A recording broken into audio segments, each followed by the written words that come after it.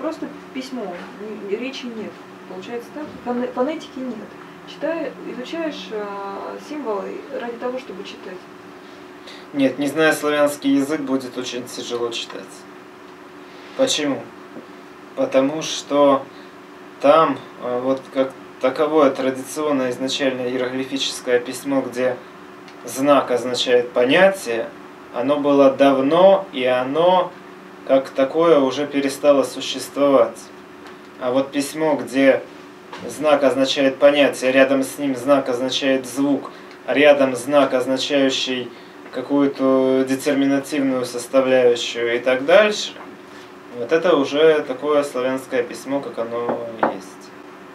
И изу- и изучать, например, язык, на котором э, написаны веды, э, это сложно, это долго. Нет, это тот же язык, на котором мы говорим сейчас, но более древний. Вот э, молитвы на церковно-славянском языке, это тоже этот же язык, но это средний как бы. Мгм. Есть современный, есть церковно-славянский, есть древний. Мгм. Но язык один. Искони бяше слово. Ну, бяша как-то оно не похоже на было, но тоже кое-как сходство еще какое-то есть. Там по смыслу понятно. Почему? Если бы там какого-то китайца посадить и сказать, вот по смыслу пойми, что за искони и какая бяша и Не, ну какое слово. китайцы, как. Он не поймет вообще. Вот. Он не поймет, что ты хочешь от него. да. И что, допустим, бяша и было это как-то связано, он тоже может не понять. поймет. У многих народов как идет? Идет слово, и, соответственно, оно изучается. А вот как одно слово перетекает в другое, как оно связано с третьим и так далее, у многих народов этого нет вообще. В то время как в славянском языке скорее есть не язык, как э, э, набор слов, а есть некоторые слова, некоторые корни и правила, как они объединяются, как они изменяются, как они склоняются и так дальше.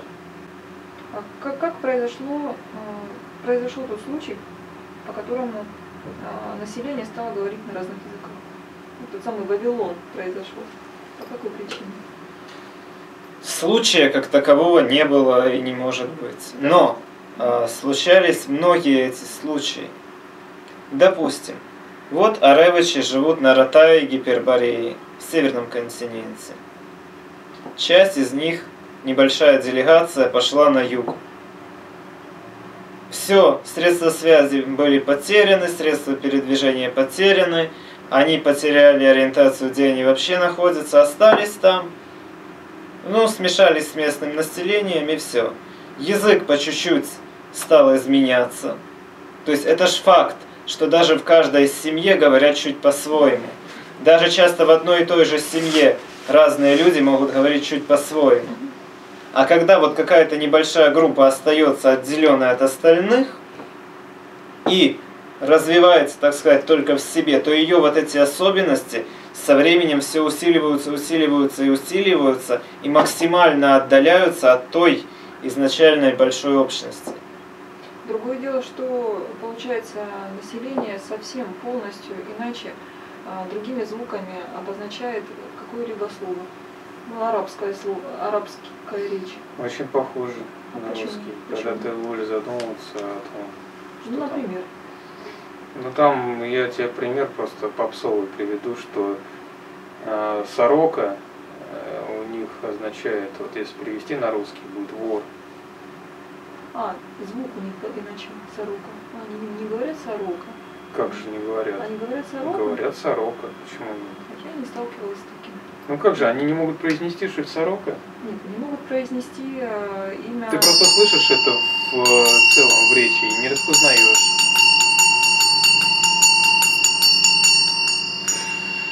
Так вот, сначала группа отделяется, говорит на своем языке.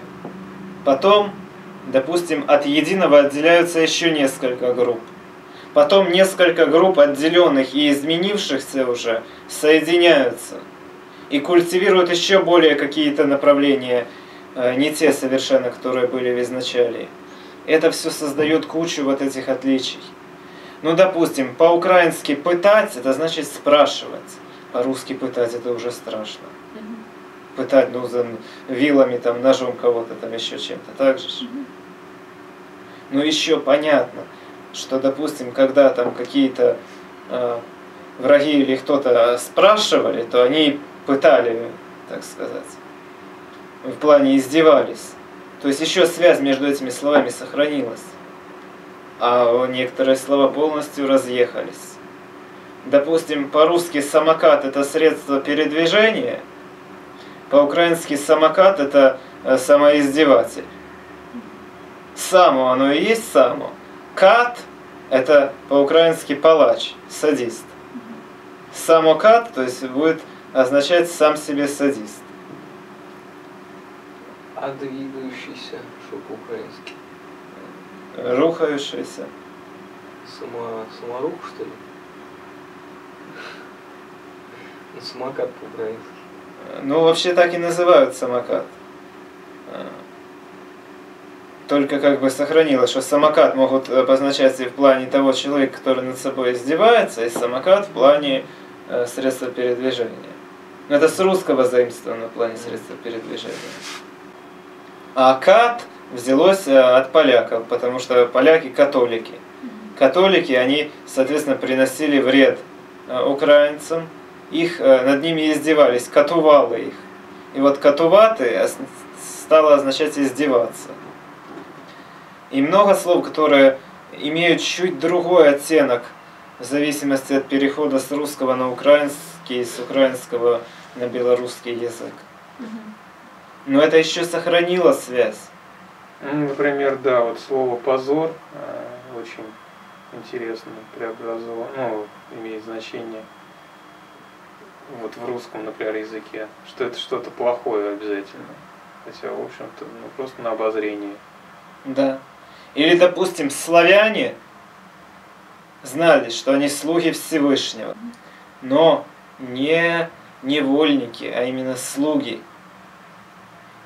И, допустим, э, сербы, изначальное название э, сербов, это слово означало прославляющая Ра Бога. Потом это слово сократилось до звучания сербы, а потом, поскольку греки захватывали их в неволю и использовали в качестве слуг, возникла серви как слуги. В английском э, slave э, раб, потому что славян в рабство захватывали. Слейв раб, да, а серф это слуга. Вот. То есть как бы использование славян. Соответственно, с другой стороны, русские и украинцы знали, что немцы это не наши. Вообще все, кто не наши, это немцы. А вот кто конкретно не наши, кто постоянно против нас, за ними слово немцы и сохранилось. Потому что немцы, они постоянно с Российской империей воевали. Немцы в плане германцев. Да-да-да. Ну, не знаю, постоянно, не постоянно. Очень, очень. На, послед... на протяжении последних веков постоянно. То есть, ну, Пруссия сначала, Да, вторгалась. слышала, все, все это было. Как, как о воинствующем, а постоянно воинствующем народе. С одной стороны, постоянно воинствующие, с другой стороны, Екатерины всякие и прочее, Мгм. это постоянно заимствованные оттуда. Да. Да. Это как у скифов. Скифы постоянно воевали с греками. Вот постоянно говорили, ну греки такая пакость мелкая, такая вообще ничтожество, грешники, все. Вообще слово греки и грехи это одно и то же в принципе. Потому что наши считали их грешниками, ничтожествами, поэтому так и осталось. Но скифские цари все брали греческих жен себе. Поэтому они деградировали, поэтому все это скифская империя развалилась, поэтому сарматская династия пришла, скифов большую часть вырезала, те, которые были благочестивые, приняла в свой состав, и скифская империя была уничтожена, воцарилась Великая Сарматия. А и вообще они хоть как-то описывали свои, свою мотивацию, когда там ну, вот эти вот случаи описываются. Хоть как-то оправдание какое-то, что они брали греческих жен, эти скифские цари-то. Ну, типа означение, что они победили греков. Ну, это же обычай древний этот. что если князь побеждает княжество, он берет себе э, в жены дочку князя, которого он победил. Но они уже просто к грекам приходили и говорят, мы вас особо и побеждать не хотим, давайте сюда своих этих гречанок. Хоть сначала побеждали, как положено, там войной, всех их э, ликвидировали. А чем вообще радость такая у них была? Это вообще что, болезнь, что за болезнь такая? В смысле? Ну, иностранных жен брать себе. Да это не из-за того, что иностранную жену. Это из-за того, что есть обычай, что если князь побеждает княжество чужое, то побежденный князь э, победившему князю отдает свою дочку в качестве жены. Ну хорошо. Ну победили один раз греков. Ну что, теперь бесконечно, что ли, поставки будут этих гречанок или что это? Ну так э, Какой они традиции сначала, сначала очень часто ходили их побеждать. это? Мгм. Это потом, это до конца Руси сохранилось, до принятия христианства. Потом уже не за женами ходили, а просто, ну как на забаву, каждый уважающий себя князь хоть раз в жизни должен к Константинополю подойти, там на колесах там приехать, так сказать, и так дальше. Как помнишь ситуацию, когда они на колеса поставили сюда и приехали просто э, к воротам Константинополя?